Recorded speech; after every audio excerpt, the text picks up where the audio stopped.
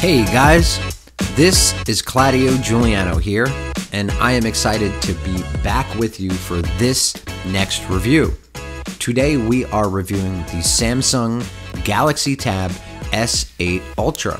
So, the S8 Ultra is something I've been meaning to check out for myself for a while. It's something I wanted to get reviewed for you guys for a while now, too.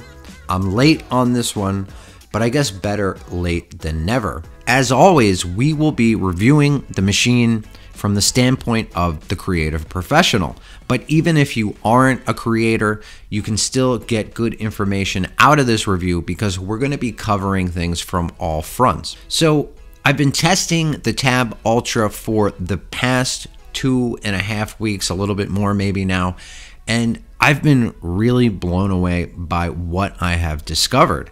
This is an incredible machine and it is one of the very best tablets I've ever tested and one of the best machines all around I've ever tested. So if you guys have been with me for a while, you know that I'm a hardcore iPad Pro user and for good reason and for specific reasons. I helped develop software for the platform specifically for iPad OS for creators and artists with Art Studio Pro. But first and foremost, I am a graphic artist, digital illustrator, and large scale printer. I'm a shop owner of 14 years. I'm also a musician and obviously a content creator for video with the channel. And the platform and the tool itself has really catered to a lot of the things I do for work. So I have a lot of deep ties to the platform, but I'm also a longtime Samsung user going all the way back to the second generation Note and using various different notes over the years. I also then moved to the Fold with the Fold 3 and I'm about to unbox the Fold 4. And Android in general is something I've used since the early days, since before the Note. And I've used both platforms for a long time. So I've been taking you around the hardware. And with the Tab Ultra, Samsung has pushed things forward in a variety of different areas. And I think one area that's pretty obvious is in design because it's not only beautiful, but it is shockingly thin. Like it is extremely thin. It is thinner than the 11 inch iPad Pro, and it is coming in at just about the same weight as the 12.9 inch iPad Pro, and it's a 15 inch tablet. So it doesn't feel unwieldy to hold and carry around. And from the overall size perspective, it's also quite compact. For example, if I take this and lay it on top of my 13 inch MacBook Pro, you would see that the Tab Ultra is not much bigger in overall scale than something like a 13 inch MacBook Pro. So Samsung has raised the bar here and it is awesome. Another crazy thing is you guys see how thin it is, and it also has expandable memory. It's an awesome thing because we don't really see that much anymore, and even more awesome that they fit it in this thin device. Another awesome thing is Samsung includes the S Pen in the box, unlike the Apple Pencil with the iPad Pro and unlike the Surface Pro with the Surface Pen. So when it comes to the feel of the S Pen, it feels great in hand. It's ergonomic. When we compare it to something like the Apple Pencil, it doesn't feel as substantial in the hand. The Apple Pencil has that true utensil like feel in hand with its length, weight, and its unique tip design. And the S Pen goes for a different feel. It definitely feels more like a pen in hand, but it's ergonomic and I enjoy the switch up and feel that I get with the S Pen. So when you're using the Apple Pencil and you're drawing on the iPad, if the screen is not covered in fingerprints, the pencil tip gets great tooth and it has a real gritty style tooth. And the S Pen here takes a different approach. It has a more brush like feel when you're working with it on screen. I actually like the feel a lot for drawing, sketching, and painting and note taking. And another great thing about this tip is it has great resistance against fingerprints, whereas the Achilles heel of the Apple Pencil tip is fingerprints. Once fingerprints get on the screen, the resistance starts to go, and the more and more fingerprints that get on the screen, the more and more the tooth of the pencil tip gets wiped out. So you do have to clean the screen a lot to retain that tooth on the pencil tip. The S Pen also has a side switch, and all around, it's packing a lot of deep functionality within it, and we'll get into that when we start working directly on the machine and drawing. So, when it comes to the keyboard, this is an experience that I feel like kind of ties everything together. I don't think you would want the Tab Ultra without the keyboard cover. Now, this thing is expensive at $350, and is it worth that? I don't really know. But I do know that it does help complete the experience. And I got it on a sale for 150.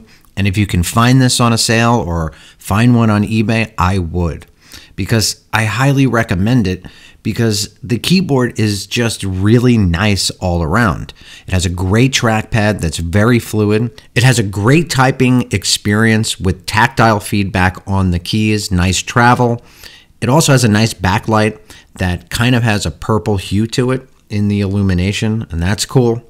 And the keyboard is approached differently than, let's say, how Apple approaches the Magic Keyboard of the iPad Pro. Samsung is focusing more so on the artist experience and the artist ergonomic experience. And that is what I love about the keyboard. So when it comes to this display, this is a beautiful screen one of Samsung's best OLED panels.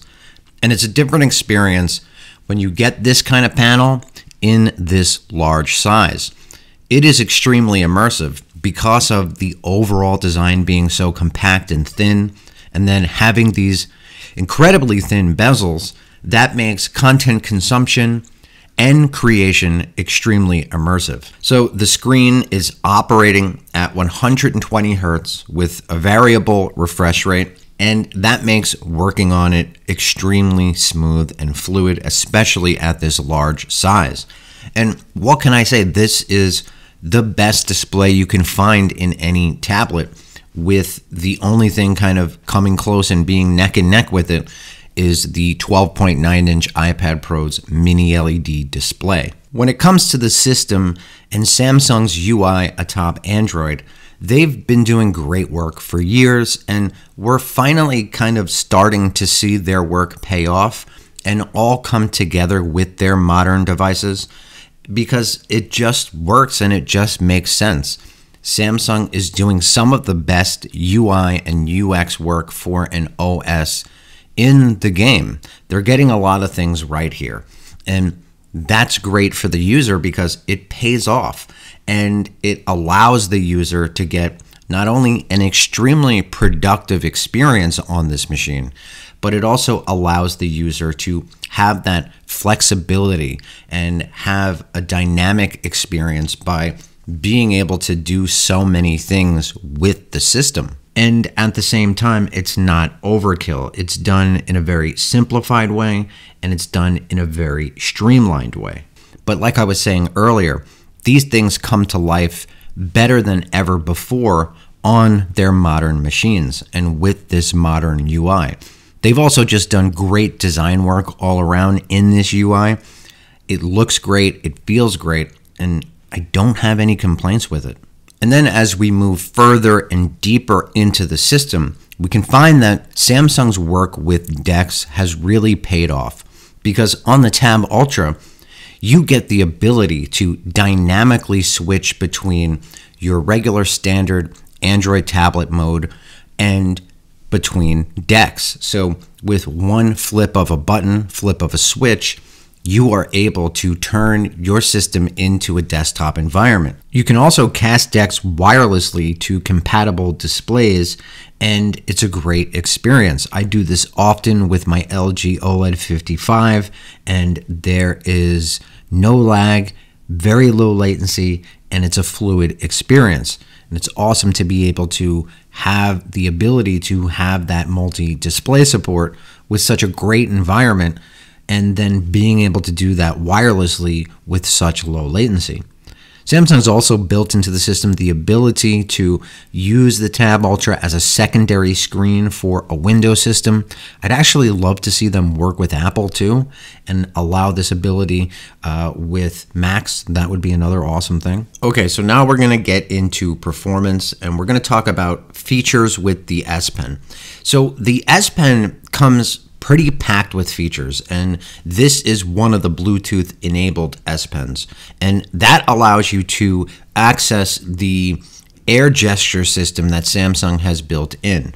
And that system is awesome for creating streamlines of workflow like i'm showing you right here. So for example with just the pen button and the gestures i'm able to create a workflow streamline without needing the keyboard and without needing any other hotkey kind of controller. And this is one thing that I love about this experience. And it's something that I think not a lot of people dive too deep into because the gestures are kind of weird. You kind of have to get them down. And then once you actually realize how the gestures work, they pretty much work all the time. So it's a thing where you have to kind of play around with it, and then once you get it, you probably won't want to have a workflow without it. At least I don't, because I don't have to bring anything else in to get that streamline of workflow. So as you can see right here, as I hold the button and go to the left or right, I am increasing and decreasing the size of the brush. Before I was showing you the canvas rotate, zoom in and out, and call upon certain panels like the color picker. So I have gotten a lot of great use out of this experience and it's something I am actively using when I am working on the tab. When it comes to overall performance, we have the Snapdragon 8 Gen 1 and it is a good performer. It's not on an M1 level of performance, it's not on an M2 level of performance but Samsung gives a lot of RAM in the experience, and that kind of evens some things out. So the experience has been fluid when working on large, high resolution pieces, when moving around the system, when doing a lot of multitasking. I haven't felt the machine slow down, so real world performance is good. And when we get into the actual drawing experience with the S Pen, it is what you would come to know out of a modern S Pen experience. Nice pressure, low latency, and tilt ability. Now, on the pressure side of the spectrum, it's not quite as dialed in as the Apple Pencil. I do still feel the Apple Pencil has the very best curve when it comes to the mathematics of the input, but the S Pen is right up there. I mean, it's one of the best experiences too. But the Apple Pencil, if you look for the details, is slightly better when it comes to that curve, when it comes to the fall off of pressure, the low end of the spectrum. However, I don't think this is something that will hinder your drawing experience. And in fact, I think most will not notice it. So when you combine the fact that you are getting a great drawing experience, combined with the features of the S Pen, combined with the size of the canvas that you get to work on, from the big picture, it does make for a really nice digital art experience. And with the Tab Ultra, I don't feel like I need a 22 or a 24 inch pen display. We've never really had something this large in screen size that is also very portable. So it is a first of a kind in that regard. Battery life has been excellent on the Tab Ultra, one of the best and longest batteries I've seen in any tablet. So, does this experience take me away from the iPad Pro? It doesn't, because there's still too many differences across the ecosystems and platforms, and there's certain software that just still doesn't exist here. So, there's a lot of reasons for that. But what I can tell you is, I got this all the way back in November. That's why you saw some shots earlier with Christmas stuff. And sometimes I'm getting something just for the purpose of reviewing it, and sometimes I'm also considering keeping it. And the Tab Ultra is something I kept, and it's something I am going to be using because I just enjoy the experience a lot. It's definitely something I can recommend. I want to thank you guys for tuning in today. If you like this video, it'd be great if you can drop a comment, drop a like, but most of all, it'd be best if you subscribe. Stay well.